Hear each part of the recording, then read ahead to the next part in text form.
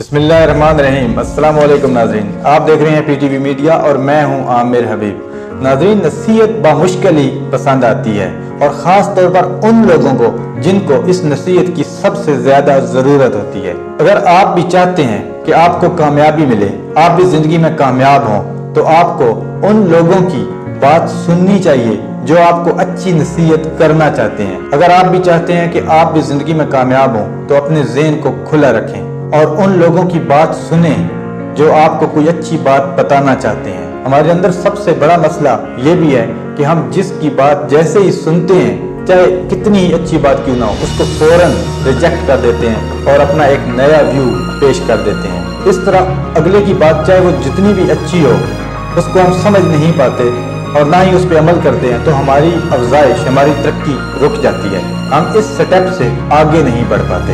لہذا جو کہا جائے آپ اسے سنیں، اس پر غور کریں۔ اور اگر اچھی بات ہے تو اسے قبول کریں، ورنہ جانے دیں۔ لیکن کبھی بھی کسی نالج کو، کسی اچھی بات کو بغیر سوچے سمجھے اپنا ویو پیش کر کے مسترد نہ کر دیں۔ کیا پتا کہ کون سی بات آپ کی زندگی میں بہت بڑی تبدیلی کا ذریعہ بن جائے۔ اور ایک اور بڑا مسئلہ یہ ہے کہ ہم یہ سمجھتے ہیں کہ ہم سب کچھ جانتے ہیں۔ اور جس بات پر ہم یقین رکھتے ہیں، یہی بات درست ہے۔ یہی بات صحیح ہے۔ یہی کچھ غلطیاں ہیں ہماری جو کہ ہم کو آگے نہیں بڑھنے دیتی، جو کہ ہماری کامیابی کی راہ میں سب سے بڑی رکاوٹ بنی۔ لہٰذا اپنے دماغ کو کھلا رکھیں، اپنے ذہن کو کھلا رکھیں۔ اور اگر کسی کی اچھی بات آتی ہے تو اس کو آنے دیں۔ اور اگر کوئی بات آپ کو پسند نہیں ہے، چھوڑ دیں۔